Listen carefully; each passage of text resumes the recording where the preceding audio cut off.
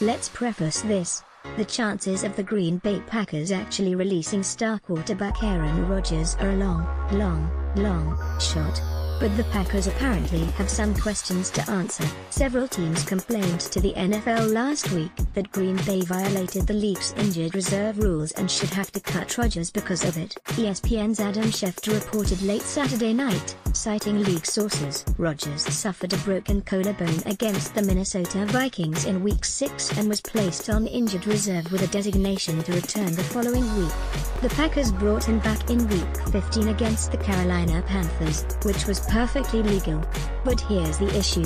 Green Bay placed Rodgers back on IR this past week, shortly after the Atlanta Falcons win over the Tampa Bay Buccaneers on Monday night officially eliminated the Packers from playoff contention. He wasn't necessarily hurt, though. If Green Bay still was in the hunt, teams argued, Rodgers probably would have played Saturday night against the Vikings.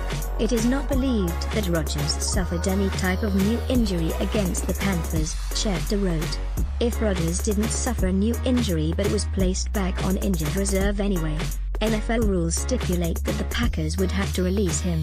Schefter added that nobody expects Green Bay to release Rodgers, and that team simply want to know why the Packers are being granted immunity for putting Rodgers on IR with no legitimate injury. A source told Schefter the Packers knew Rodgers wasn't 100% and might not have been medically cleared to play Saturday night.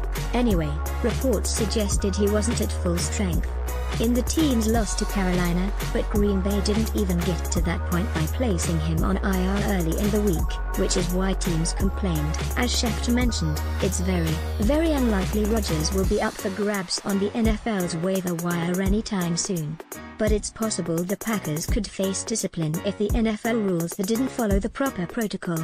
Click for Week 16 NFL Picks thumbnail photo via Jim Matthews USA Today Network.